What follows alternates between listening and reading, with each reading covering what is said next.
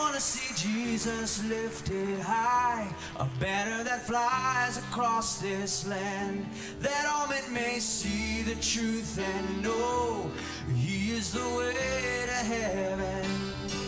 We wanna see Jesus lifted high, a banner that flies across this land, that all men might see the truth and know He is the way to heaven.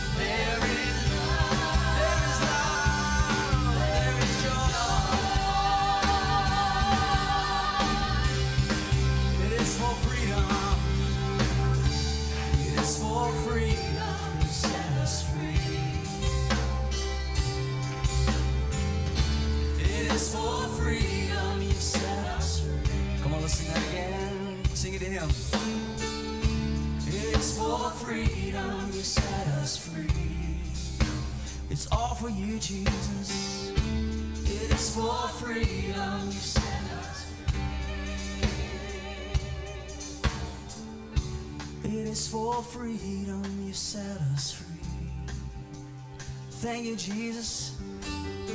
It is for freedom you set us free. It is for freedom you set us free. By the blood of Jesus. It is for freedom you set us free. Come on, look up to him and sing. It is for freedom you set us free. Come on. It is for freedom you set us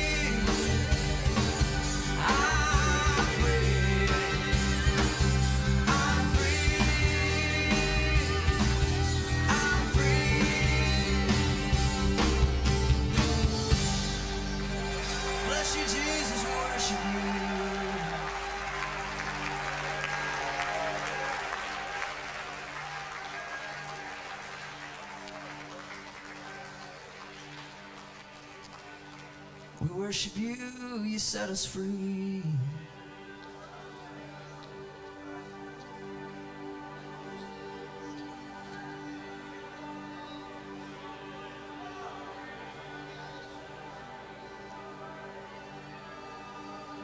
You set us free, Lord.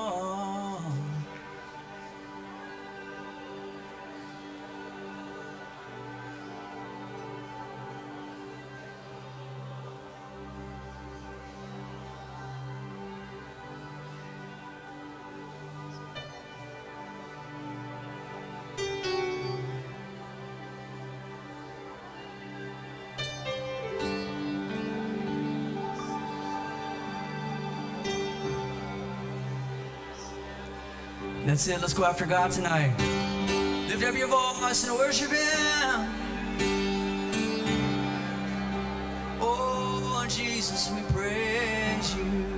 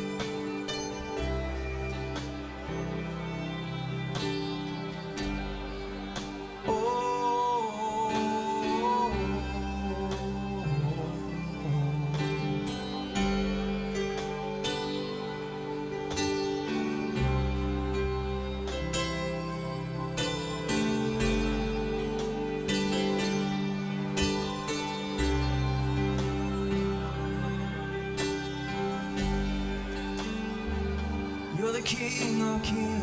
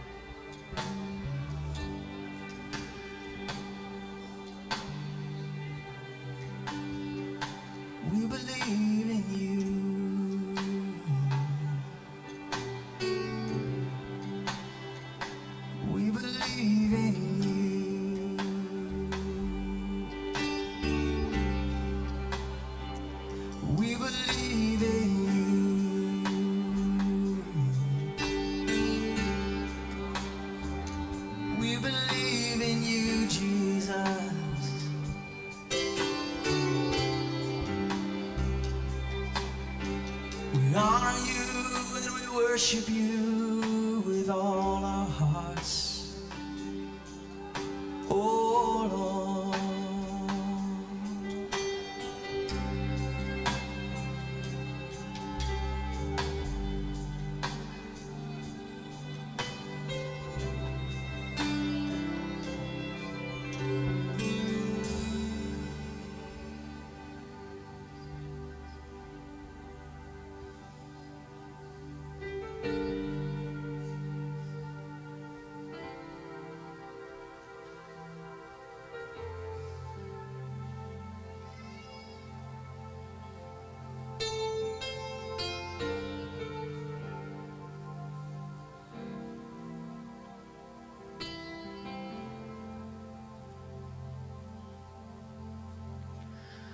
I have felt the wind blow Whispering your name. And I have seen your tears fall When I watch the rain. How could I say there is no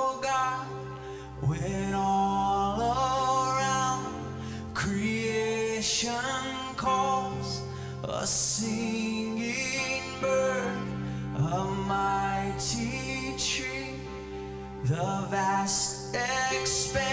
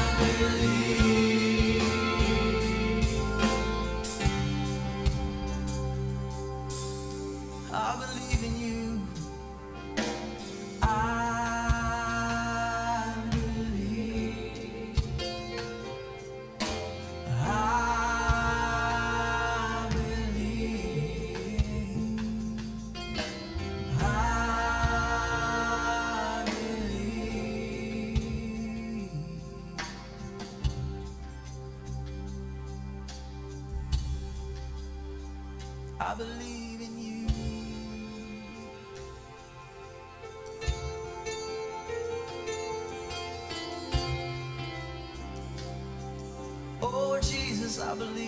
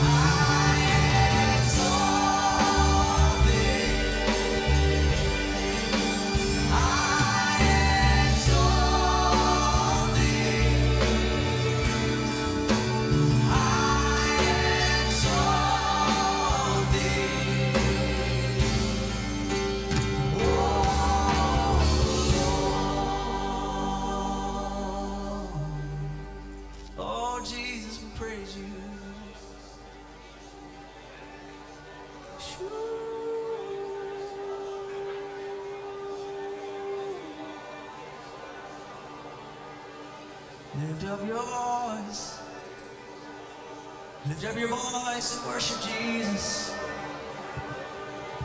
Let's press into the Lord. Let's press into God.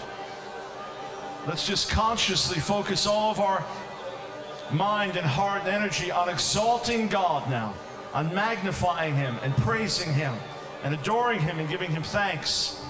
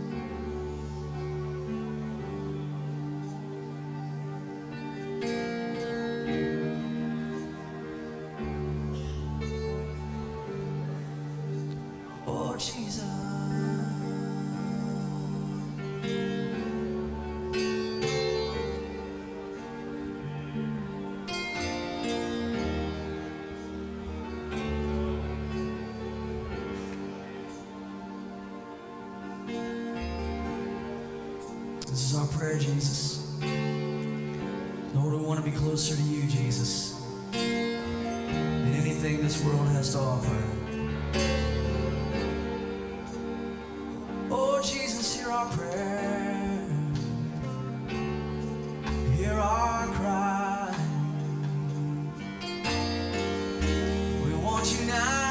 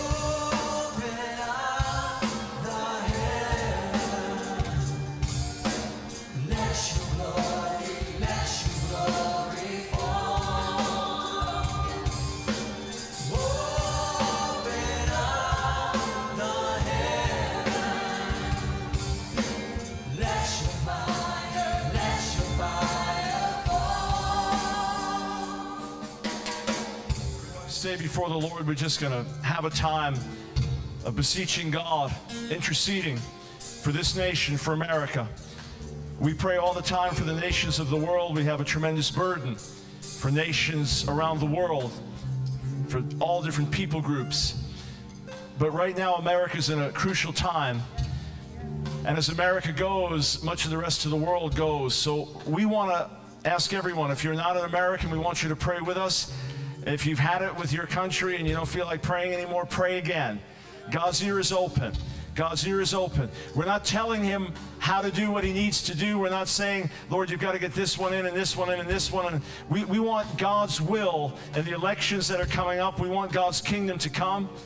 As voters, we'll make clear choices and, and stand on moral principles and do what's right, but we're asking God now to have his way, to cause his kingdom to come in power and to foil plans of darkness. Thank you, Jesus. Jody, why don't you come up here? We're going to pray. I want to invite you to open up your heart. Listen, prayer is the great resource God has given us. All the riches of heaven are available to meet needs on earth, to change things on earth. And prayer is our way of connecting and tapping in. Let's pray in faith. Let's ask God to move. However you feel to pray, just pray. Pour your heart out. Jesus. Oh, Jesus. Oh,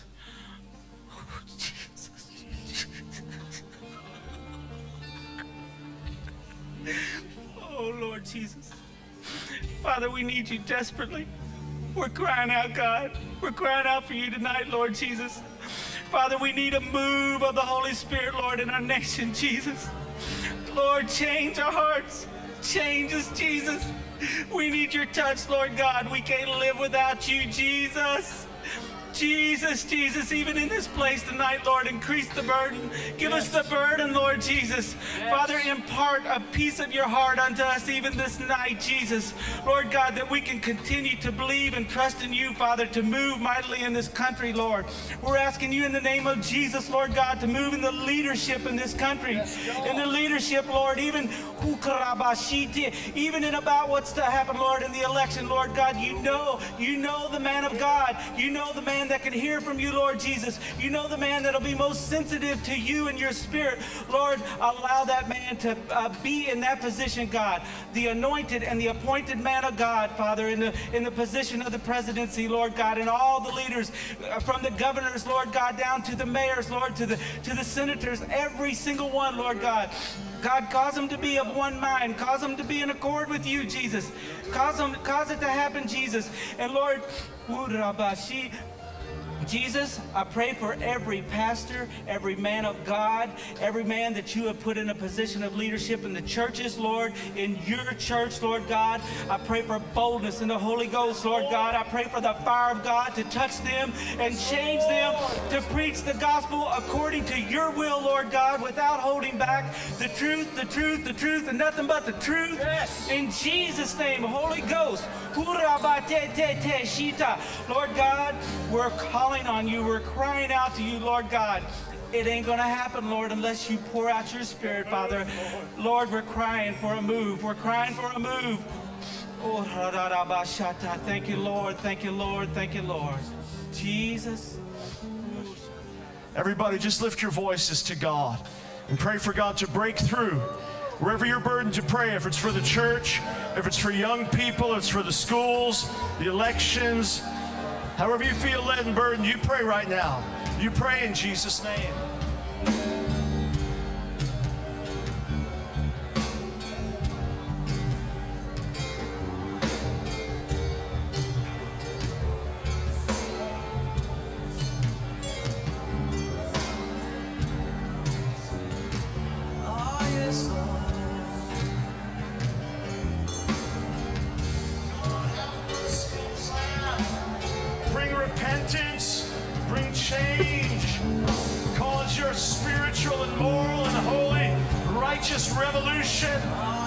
Turn things right side up. God, shake everything that must be shaken, that this nation might fulfill your purpose, that your church might arise in purity and power.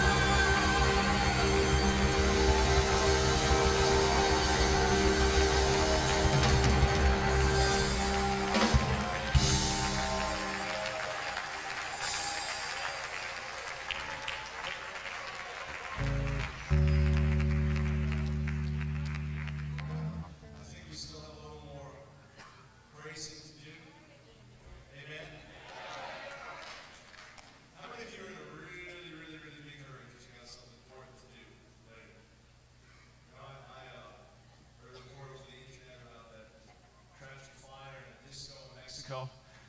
And uh, what was it, 19 people were killed, something like that. And when the fire broke out, it was something like 5 in the morning. It was right in the the heat of party time. And I thought, th- think of living your life like that, that five in the morning, you're partying, that, that your life revolves around that. And then so many people in God's house just want to get in and get out, kind of do their weekly duty. But that's not why you're here. I know that. You didn't come from different parts of the world and different parts of the country just to go to church. You can stay home and go to church.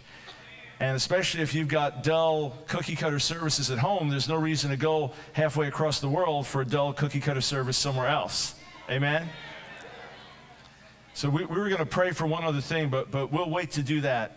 And uh, I, I heard a familiar sound on the bass there. So uh, let me just invite any of you that, that just need to break out and just need a little push to do it. And, And, and so you may see people celebrating, dancing, jumping in here, but they didn't always do that. And you don't have to do that in order to worship God. And some of you might wish you could, but physically you're unable to.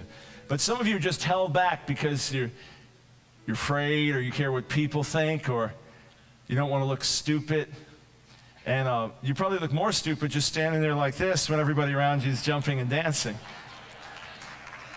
But it was, uh, I don't know, about 17 years ago, God really convicted me because I didn't get saved in a dancing church, and then I was in another kind of non dancing church.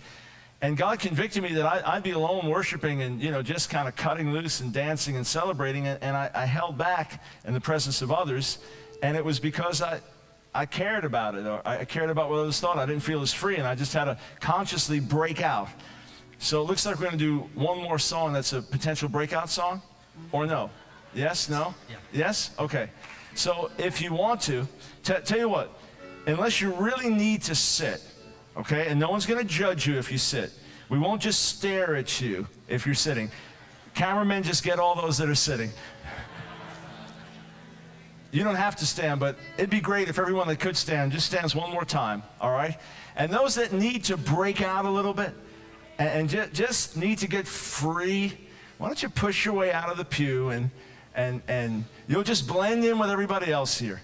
And you may not stay free when you get home unless you really make the determination to, but at least one night you can feel, feel what it feels like. Is that all right?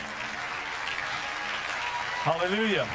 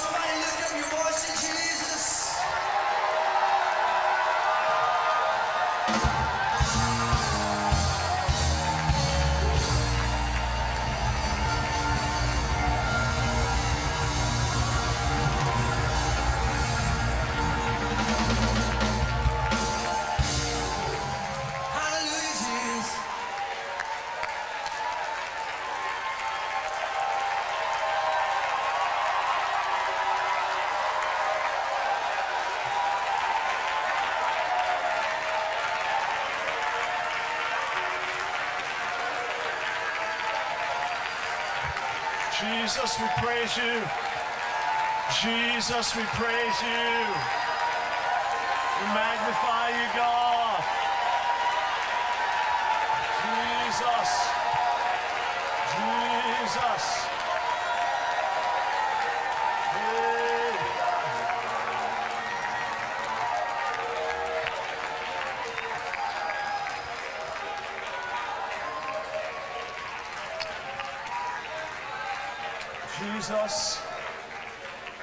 Jesus. Make this declaration together with me. Heavenly Father, in the sight of heaven and earth, we declare that Jesus alone is Lord. We declare that He died for our sins, that He rose from the dead, He triumphed over death and hell. He broke the power of the enemy. He ascended on high. He sent his spirit and power. And in him we live.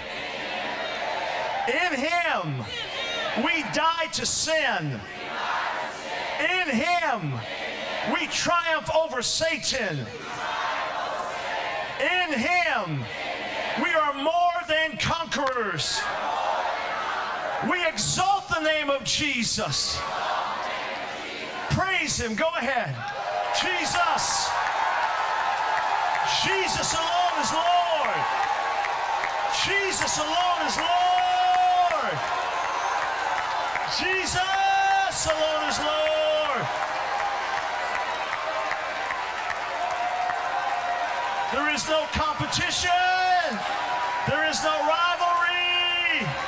Jesus alone is Lord. Hallelujah. Hallelujah. Jesus. Jesus.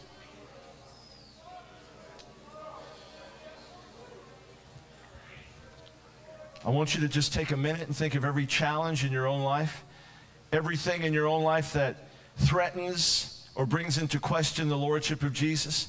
Everything that comes against you and says, if he's really Lord, then what about this? If he's really Lord, then why is this still in your life? If he's really Lord, why hasn't this changed? If he's really Lord, why is that happening? I want you to just stop for a minute. There may be one or two things that rise up in you immediately, the challenges that you're hit with, the, the attacks, the lies of the enemy, the circumstances you face, and they're really challenging the lordship of Jesus. I want you to just take one moment. I want you to look that thing right in the face. I want you to look it head on, whatever it is. And I want you just one more time to raise your hands with me and proclaim out loud that Jesus is Lord. Jesus, just do it. Do it on your own. Jesus is Lord. Jesus, Lord of all. Lord over every circumstance. Over every satanic attack. Lord over every device of hell. Lord, Lord of all. Name above every name. King and conqueror. Jesus. Jesus. Lord Jesus. Lord Jesus.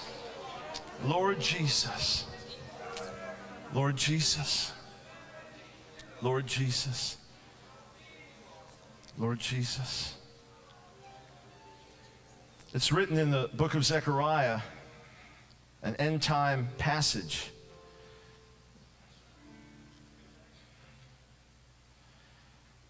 God says, The day of the Lord is coming when your plunder will be divided among you. I will gather all the nations to Jerusalem to fight against it.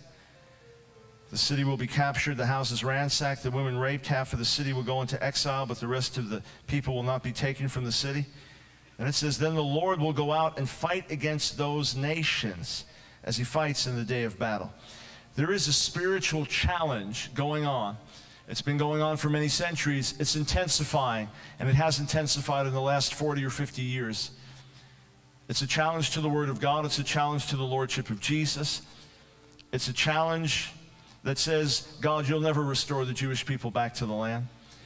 And it's a challenge that says, well, Jerusalem will never be in Jewish hands for good. And it's a challenge that ultimately says, God, your word's not true because you don't have the power to bring to pass what you've promised. And it's a challenge that says, Jesus will never come back to Jerusalem like he said. See, this is a spiritual battle. This is not a matter of Arab versus Jew. This is a spiritual battle. And we would not be right in the sight of God if we didn't take a minute and just pray for God's will to be done right now in the Middle East. I want you to just sit down for, for two or three minutes, and then we're just going to agree together in prayer before we go on. I've got something burning in my heart that is going to impact you intensely tonight. You may have heard the news that there was a resolution passed by the UN condemning Israel and their excessive use of force and violence against the Palestinians. It passed 92 to 6. Just in the last 24 hours, two of the six nations voting against the absurd resolution were Israel and the United States. A few days before that, the UN Security Council condemned Israel for crimes against humanity. And uh, the U.S. in that one, instead of vetoing it, simply abstained to our shame. And of course, in none of these resolutions there, is there a single word about how the violence started or a single word condemning, say, the, the mass beating murder of, of the Israeli soldiers in Ramallah. I just want you to, to get a little history on this, though, so you understand what we're up against, and then we're going to pray.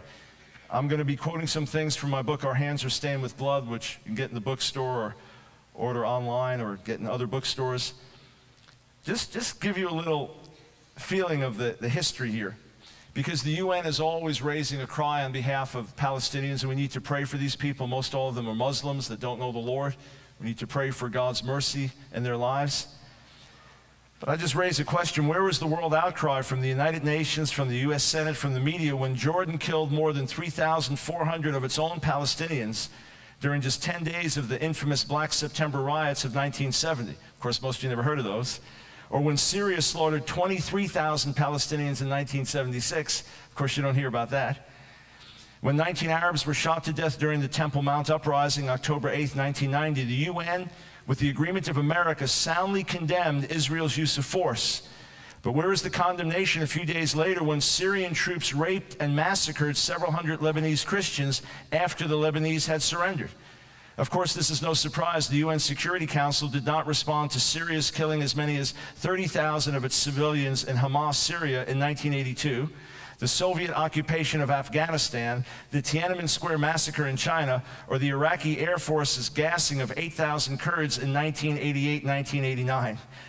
One uh, Arab scholar, Lebanese man, actually said at a, a, a conference where I was at, uh, at one time that if Israel uses tear gas, the world is up in arms. Iraqi could use nerve gas on its own people and it never even gets reported. That's just the fact. Let me just give you a bit more history. 1973, just four days after the Arab nations attacked Israel on Yom Kippur, the Day of Atonement, the Security Council of the United Nations exploded into prolonged applause when Yaakov Malik of the Soviet Union called the Israelis murderers and international gangsters. Then on October 1st, 1975, the infamous Idi Amin of Uganda, already well known as a savage mass murderer and cannibal who ate the refrigerated body parts of his victims, addressed the United Nations and received a standing ovation from the UN General Assembly both before and after his speech. His message? He denounced the Zionist American conspiracy and called for the expulsion of Israel from the UN as well as Israel's extinction. The next day, the next day, the UN Security General gave a public dinner in Idi Amin's honor.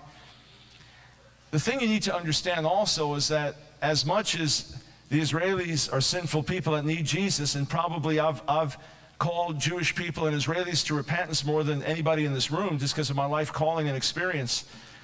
It's a wild thing when you see how stuff is reported worldwide. And just for an example, before Israel bombed certain buildings in retaliation for the murder of some of their soldiers, they warned people to get out of the buildings because they were going to be bombed.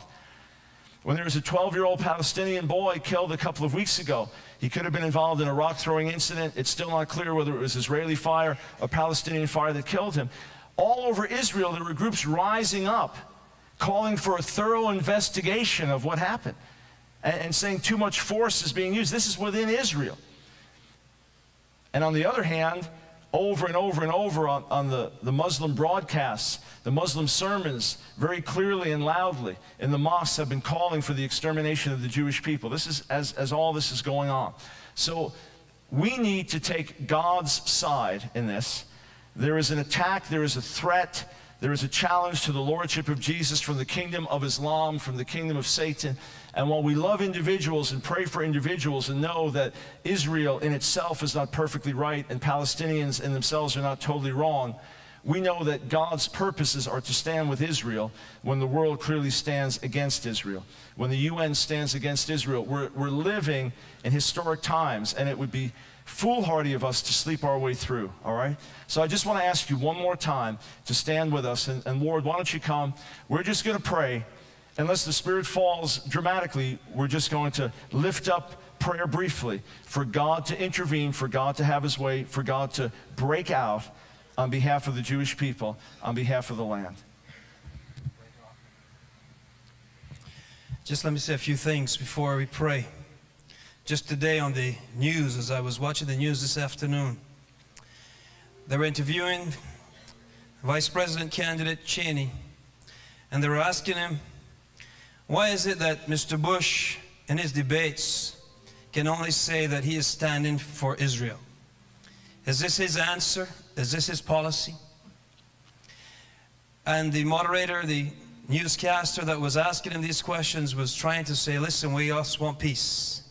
So give to the Palestinians what they want. You see, it's like this room here. All of you being the great majority, and a few people up here being the small nation of Israel. So it's a great multitude that caused the noise. And as Dr. Brown said, it's not a battle of flesh and blood. It's a battle of Allah against the God of Abraham, Isaac, and Jacob.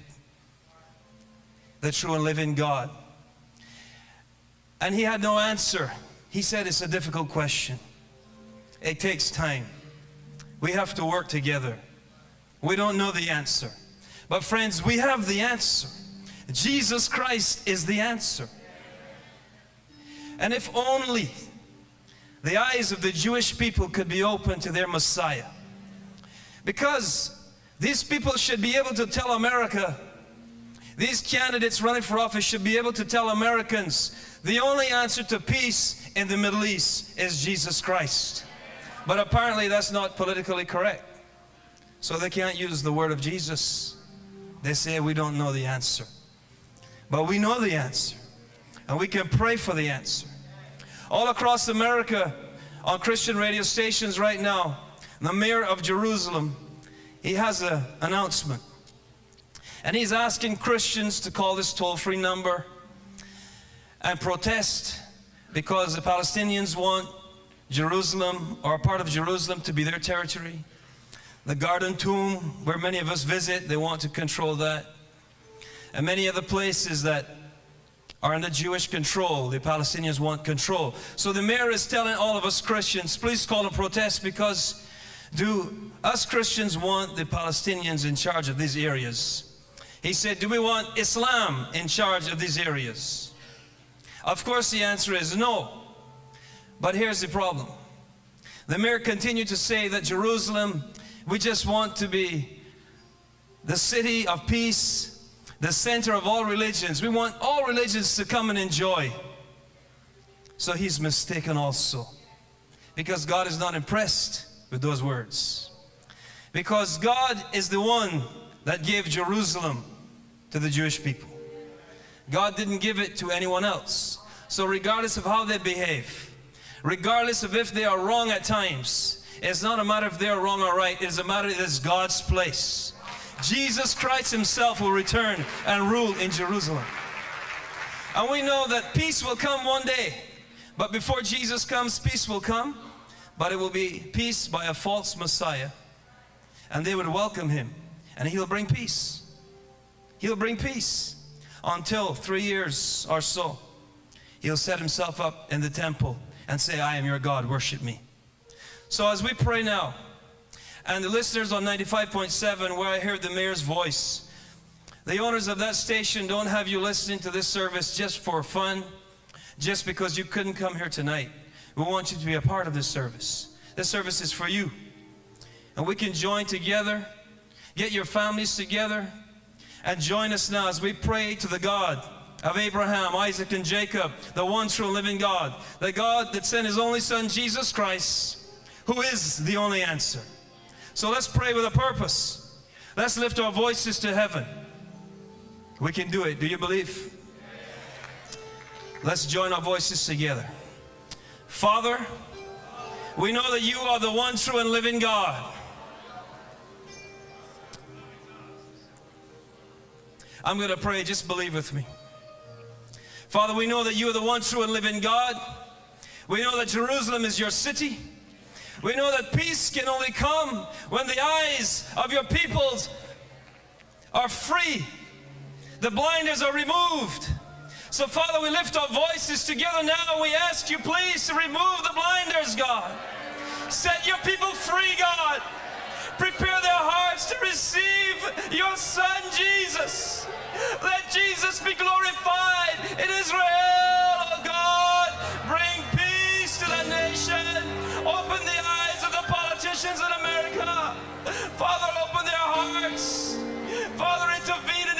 bring peace even now. In Jesus' name. In Jesus' name. Amen. You believe it? Say amen. Hallelujah. You can be seated. Hallelujah. Hallelujah.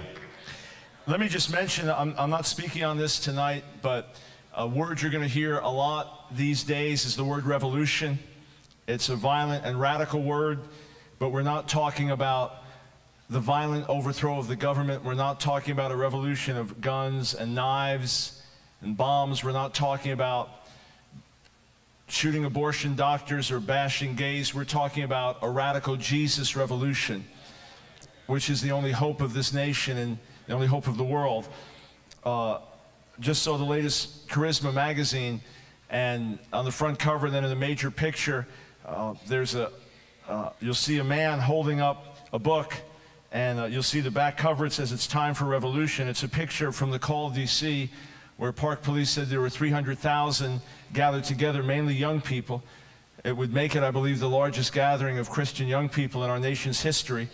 And we were there with 15 buses with uh, about 800 students from the School of Ministry. Amen. Went 20 hours by bus just to get there. I was given about a half hour to preach on the theme of revolution. And uh, this book that I've written called Revolution, The Call of Holy War, literally had just come out. Uh, we gave away more than 70,000 copies of the Revolution book on that day. And uh, we are absolutely committed to seeing a spiritual and moral revolution in our land. Our School of Ministry is committed to that. And I want to encourage you again, the bookstore is closed. You can't get anything here now, but when you get back home, go to your bookstore, get the book Revolution if you don't have it, or uh, get it from any of the online bookstores, or get, it, get on our ministry website, which is ICN Ministries, stands for Israel, the Church, and the Nation, icnministries.org. And you can uh, get the book and more information on materials there having to do with sparking a revolution. How many of you were uh, here through the entire week? You got here for prayer meeting Tuesday, you've been here for the entire week. Just raise your hands, okay? Put your hands down. Uh, how many were here Wednesday night? Wednesday doesn't have to be the other nights too, but how many were here Wednesday night? Just raise your hand. I know it's jarring your memory. I know it's a long ways back, but thanks. Hang on. You can. Okay, how, how many were here Thursday night? All right. Put your hands down. How many were here last night? Okay. How many are here tonight? All right. Good. I had uh, said last night that I had something on my heart that I was going to preach on, and uh, subject to change, of course. And over the course of, of the day and up last night seeking the Lord, God, God began dealing with me about a passage that was actually used and preached on last night. I had been reading the Word, I had been in that passage actually just a few hours before the meeting last night. And there's some truths in there that I believe we need to hit on and, and look at. So I want you to turn with me to 2 Samuel, the sixth chapter. If you need a title, you can call it Be Careful How You Handle the Holy. Be careful how you handle the holy.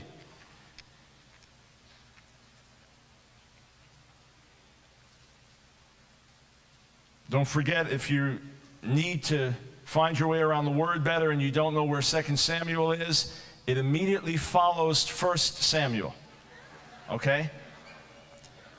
How many of you have it in your Bibles? All right? I mean, it's, if you have a Bible, it's in your Bible. I mean, how many, how many found it? All right. Let's pray. Father, you've spoken to me very clearly. You've burned these truths in my heart. And I pray, God, that the eyes of our understanding might be opened, that we would hear from heaven, that your word would speak with clarity and power and force and might. Father, we confess as closely as we know you, in many ways we really don't know you. We pray that you would make yourself real this night. In Jesus' name, amen. Amen. Many of you know the passage. If you were here last night, you heard about the ark of the Lord bearing the presence of the Lord. We heard something very important last night how God's presence drives out other forces, other powers. When God's presence comes in, things happen. That's the essence of revival, the manifest presence of God. It's the key thing needed in a church and an individual life the presence and power of God. But there are texts that we have in the Old Testament as well as the New Testament that tell us that the presence of God is not cheap, that the presence of God is not trite, that the presence of God cannot be reduced to formulas, that the presence of God is holy, that the presence of God is sacred, and we must be careful in terms of our handling that which is holy, in terms of our interaction with the presence of God. We're going to go through most all of this chapter in a minute.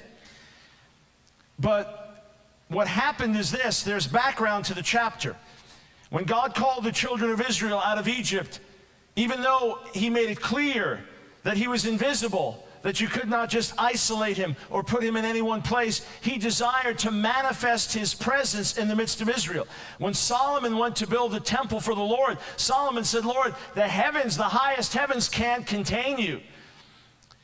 Nancy and I, my wife and I, were, were sitting looking out on the beach the other night and, and just looking out at some of the stars. And she asked me how many galaxies there were. Science is not my best subject, but I knew there are a lot, a lot of galaxies. And I know that our galaxy is absolutely vastly huge. And, and you think of, of the hugeness of the universe, and that universe can't contain God. Solomon understood, I, I can't put you in a house. Yet God would manifest his glory and his presence and power. He would manifest himself over the Ark of the Covenant, and his glory would be there. And it was very sacred. There were specific rules and laws. You can read about it in Numbers, the fourth chapter, that, that people could not touch the ark. And when it was carried, there would be posts that would be jutting out of the side. And, and only the Levites, only those specifically selected for the job, could carry it. And they would carry it by those posts so as not to touch it. And it was sacred. You couldn't look in it. And it symbolized the presence of God.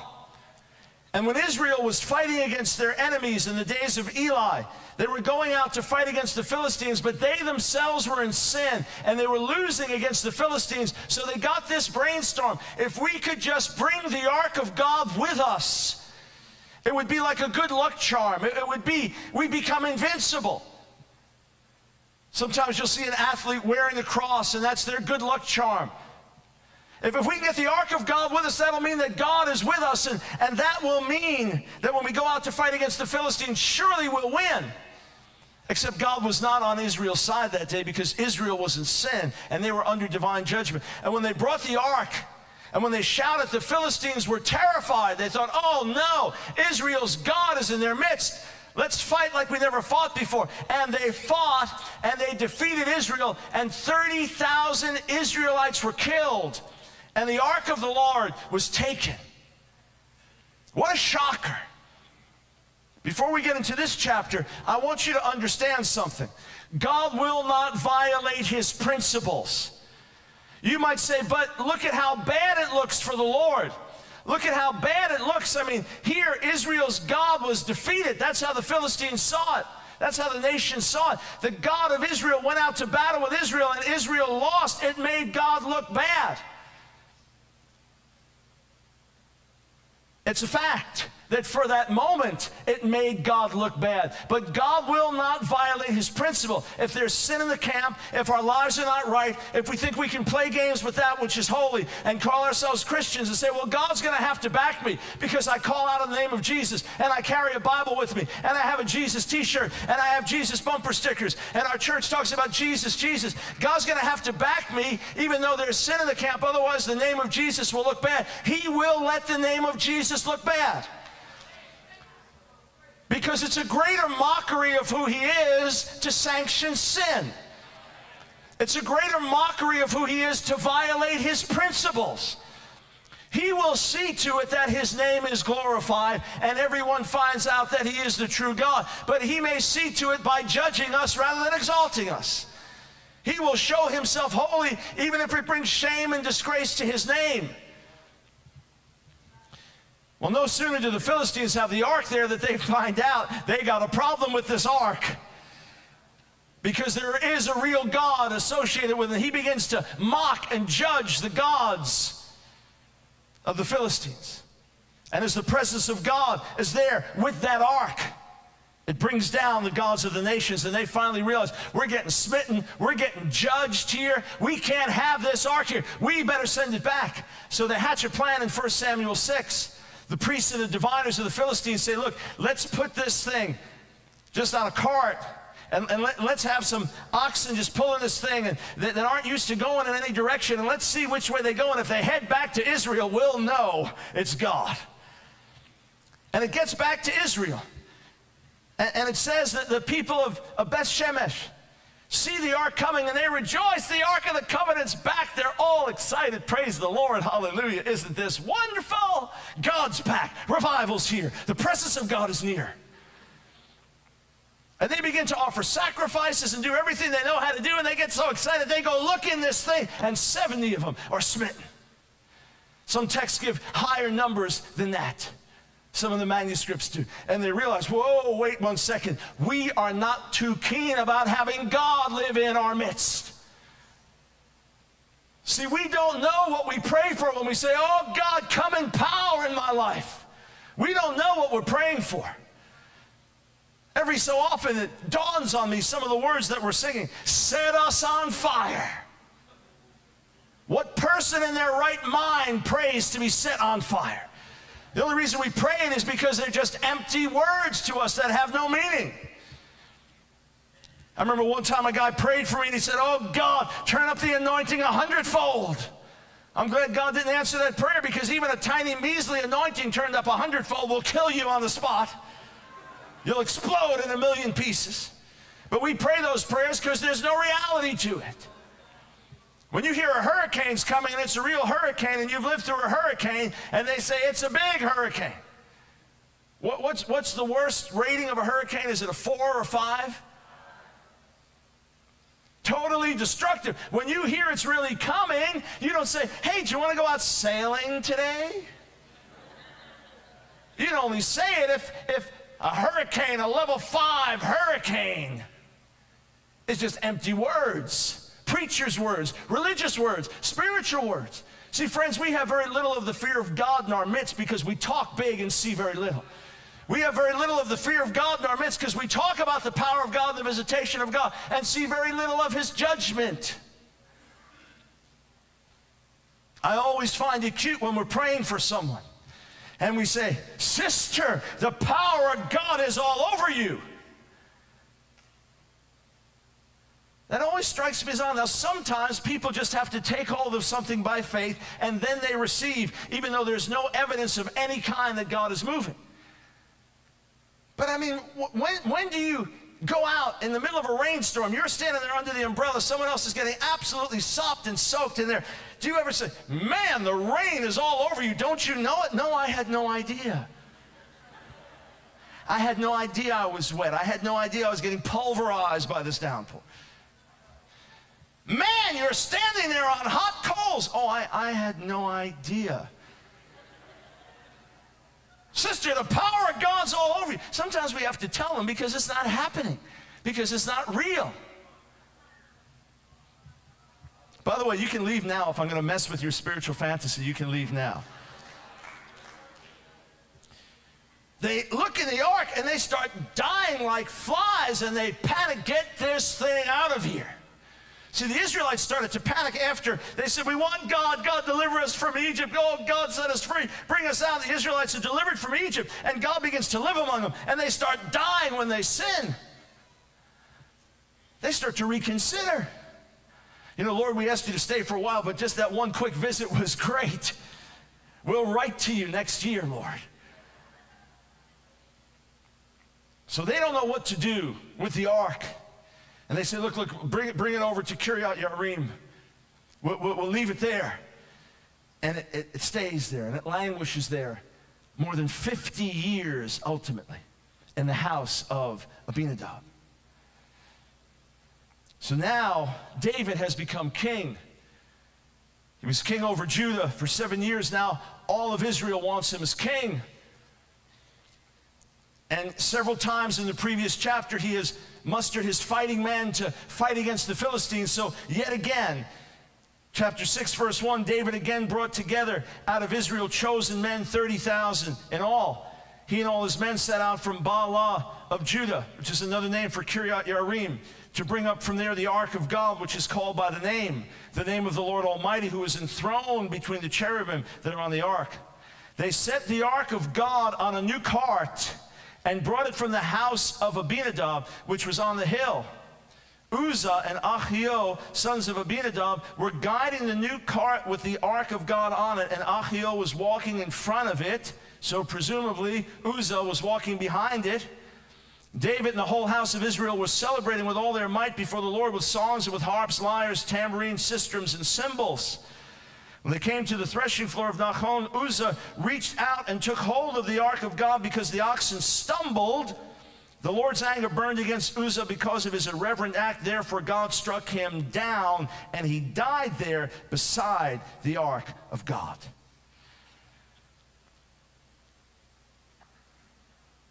Just flip over one moment to First Chronicles chapter 15. If it's going to take you a while to find it, just listen. First Chronicles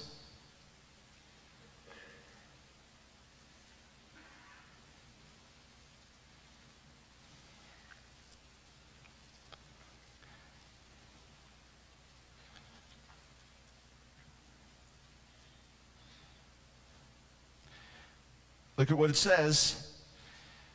Verse 11, then David summoned Zadok and Abiathar, the priests, and Uriel, Asaiah, Joel, Shemaiah, Eliel, and Amminadab, the Levites. He said to them, You are the heads of the Levitical families. You and your fellow Levites are to consecrate yourselves and bring up the ark of the Lord, the God of Israel, to the place I have prepared for it. It was because you, the Levites, did not bring it up the first time that the Lord our God broke out in anger against us. We did not inquire of him about how to do it in the prescribed way. The word tells us exactly why the Lord was angry. Numbers 4:15 makes it perfectly clear there was a prescribed way to handle the ark. They were not to touch it, and only the Levites were to carry it. And we have no evidence that Uzzah and his brother were Levites, that their father was a Levite. They meant well, they thought they were being helpful. The text clearly says the oxen stumbled and they reached out their hand. They thought, uh oh, the ark's going to fall. They were careful, but they didn't do it God's way. See, there's a lesson here for us. There's something we're supposed to learn. 1 Corinthians 10 and Romans 15 tell us whatever was written before, whatever happened to Israel is there as an example for us. We can trivialize the holy. We can get so familiar with the holy. We just reach out our hand and touch things and don't realize what we're doing. David said we didn't do it in the prescribed way. God had said, don't touch it, carry it on these poles. You say, but wasn't God a little bit harsh? I mean, after all, this guy meant well. Why did God do what he did? There are a few reasons. One is God will sanctify his name, and God does things so that we come to understanding. God sometimes does things in public ways to wake us up. Sometimes when a leader falls in a public way, it's their sin, it's their responsibility. But God allows it to come up to the surface or even brings it up to the surface, even though it makes him look bad. He does it to sanctify his church. He does it to say, I'm holy and I don't tolerate sin. He does it as a wake up call to the rest of us. Don't play games. There's something else here, though, and it's important for those that have been touched in revival. And maybe it's been six months or a year or two or, or five plus years, like in this church, you've been around certain movings of God and manifestations of God. We read right at the beginning that David went to get the ark from the house of Abinadab. And his two sons, Uzzah and Ahio. Do you realize what that's saying? The ark had been in that house for decades. Those boys, Uzzah and Ahio, grew up around the ark. They should have known better than to touch it. Perhaps having grown up around it, it was not so sacred to them. Perhaps having grown up around it, it was not so holy to them. Perhaps there was not so much fear. You know the saying, familiarity breeds contempt. You get so close to something, you get so familiar with it, you get so used to it, you begin to take it for granted. Maybe you've had hands laid on you so many times, it's just kind of like a little game. Squeeze to the front, push to the front, get prayed for, fall out. Oh, I'll go get someone else to pray for me. Maybe when you see the power of God touch people, it's just become like a little game and you laugh and wow, wasn't that amazing and wasn't that something? Friends, God is not just a showman. Jesus didn't pray for someone with two good eyes and give him a third eye. He wasn't just trying to put on some spectacle. God's not some grand entertainer. This is sacred stuff. The laying on of hands is sacred. Worshiping God, raising hands to Him is sacred falling on our faces, dancing in His presence. This is sacred stuff. The presence of God is sacred, holy. Healing is sacred. Deliverance is sacred. Most sacred of all is his act of salvation. The Word of God, the preaching of the Word, this is sacred stuff. We get so familiar with it. We get so familiar with having a service and doing this and going on with our Christian agenda. We spend very little time prostrate on our face saying, God, I honor you. Some of you may have been here Thursday night and said, Brother, didn't you preach on the goodness of God? Yes, I did. If he wasn't so holy, he wouldn't be so good. He'd be corrupt, he'd be polluted, he'd, he'd be somehow compromised, but he is not. He is absolute, total purity. And the blood of Jesus does not lessen the character of God. The blood of Jesus doesn't change the character of God, so now we can just freely, flippantly come into His presence because now He's Big Daddy God. Because he, he, there's no there's no lordship, there's no no authority anymore. Because the blood of Jesus just kind of cheapened Him. Anything goes. No. The blood of Jesus doesn't change the nature of God. The blood of Jesus changes us. So now through the blood of Jesus, we are made worthy to enter the presence of God. I don't come cowering, trembling, fearful when I go in the presence of God because I know I'm washed. I know I'm clean. I know I've been justified by the blood of Jesus. I know I want to please the Master, but I don't go into His presence flippantly. These texts are here to tell us something. God's presence is not to be handled lightly. And the more God moves, the more we need to take hold of the seriousness of it. The more God anoints you, my friend, the more the Spirit of God has set apart your life, the more promises have been given to you, the more you've seen the evidence of God's gracious dealing with you. Be careful about the way you live your life. Be careful about the influences that you allow into your life. Be careful about the decisions that you make. We've been set apart to be holy to the Lord. God said to Israel, You shall be holy because I, the Lord your God, am holy. If we're going to get along, if we're going to live together, we're going to have to become like Him. That's what He's saying. All through Israelite society, there were divisions that were made. When you think of the, the, the, making of the most holy items in the tabernacle and so on, they, they were made with gold, and then the next ones out would be made with silver, and then the next ones out bronze. You just think of the animals. Some animals were unclean, the Israelites couldn't eat them. Others were clean, but not acceptable for sacrifice because they were not without blemish. And then there were others that were acceptable for sacrifice.